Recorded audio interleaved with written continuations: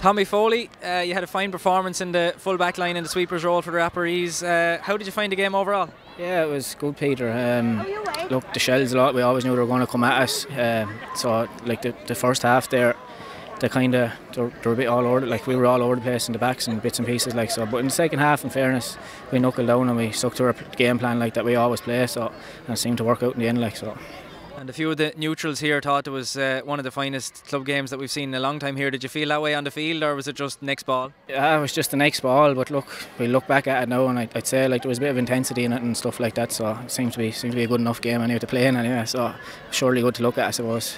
And personally, you've been in the sweepers role for the last uh, two seasons now. You obviously, uh, well, you seem to be enjoying it from looking it down anyway. Yeah, look, you get plenty of touches on the ball anyway. So just look a bit of fitness maybe there now in the next couple of weeks, and we'll drive on again. Like you know, I seem to just we like to play the ball out from the back. So look, it suits suits my game anyway. So um, yeah, we'll drive on to the next game now and see how we go.